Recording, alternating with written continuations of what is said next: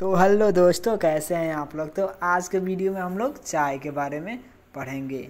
तो दोस्तों, चाय उगाने के लिए जो तापमान है, वो 21 से 27 डिग्री सेल्सियस होना चाहिए।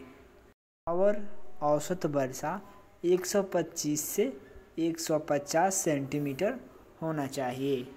और पतियों को चुनने का समय एवं संख्या।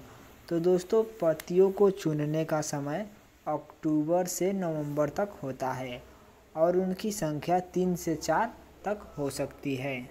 और दोस्तों, विश्व में चाय का उत्पादन देश चीन है और भारत में चाय का उत्पादन राज्य असम है। दोस्तों, असम में चाय का 50 प्रतिशत उत्पादन किया जाता है। तो दोस्तों, ये इन्फॉर्मेटिव वीडियो आपको कैसा लगा अच्छा लगा हो तो लाइक कीजिए कमेंट कीजिए और इस वीडियो को अधिक से अधिक शेयर कीजिए। Thank you.